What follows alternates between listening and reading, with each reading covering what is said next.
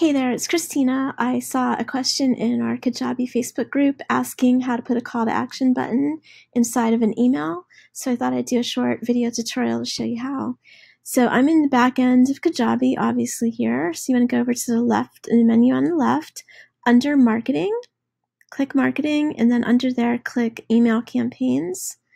And then go over here to the top right corner, click the blue button to, to add a new email campaign and we're going to do an email broadcast. And this right here is just an internal title, and I'm going to do test.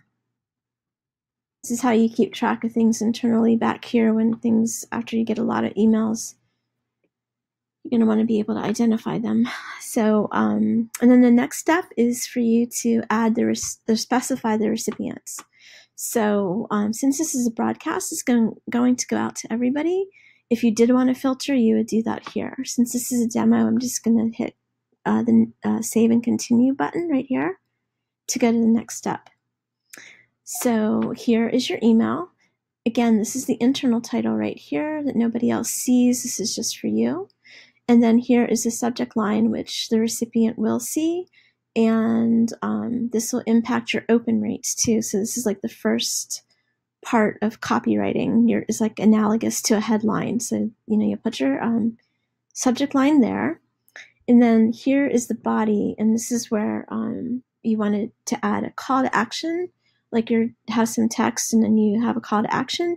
You can put it as a text link, but it looks prettier to, to, to, to do a button. So let's do that. And I'm just going to um, maybe right here, um, here is the link to schedule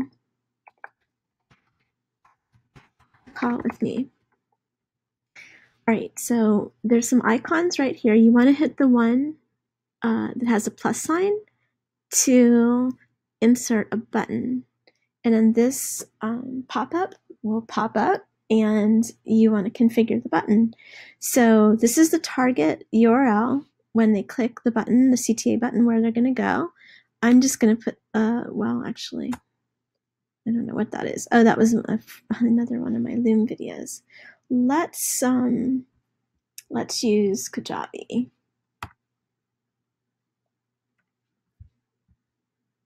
Let's just use this Kajabi URL.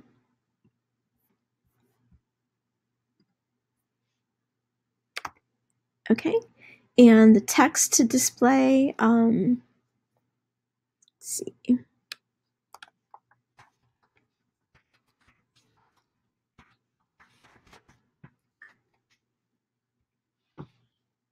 Um, this is the text that will display on the button, and you really want to use like um, it's called camel case. Uh, the, the first letter of each word is capitalized, so it really looks nice. You always want these to open up in a new window. It's just really good practice so that, you know, it'll open up in a new tab. And then you want to select the background color for the button. You don't want to leave it black. And you don't want it really red either because red means stop subliminally. So you don't want them to stop, you want them to go. So this has this rainbow uh, slider is vertical and you can just um, pick a color. You can slide this up and down. And then when you get into a color that you want, like maybe here, then you can move your cursor into here and you can move around in here to pick the exact shade. The um the button, uh, the text on the button is going to be white. So for a nice contrast, you probably want to go with a darker shade of I want to go with a darker shade of blue. That's pretty nice. And that's all. Then you hit OK to save that, and there's your button. Okay? And um, you could do the same thing like um, let's do another one just for a little repetition. Here uh, is the link, or click the link when we give them a call to action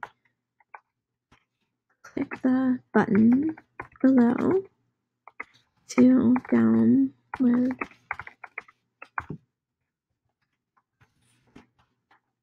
and then whatever the title of your PDF is. Okay. Click the button, add a button. Okay. URL, we're going to um, just have it go to Kajabi website. And this one, download, whoops, download.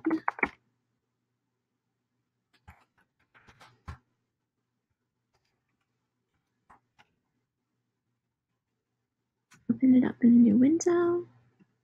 Let's make this one green.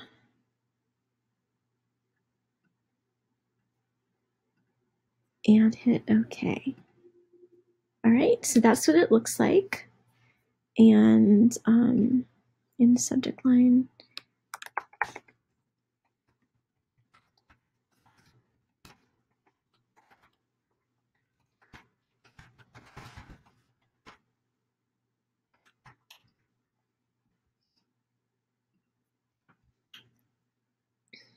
Okay, so um, then hit continue, I mean, save and continue. And it'll take you to this next page where you can preview it here.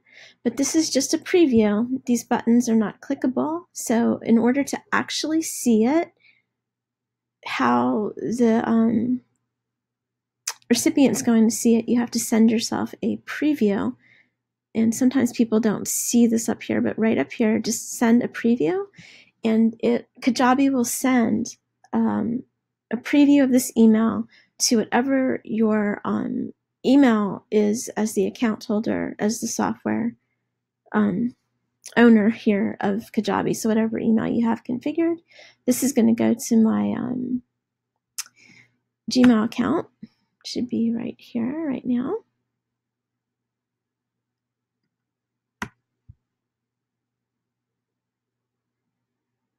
All right, where is it? Maybe it's under social. No. It's taken a little bit of time.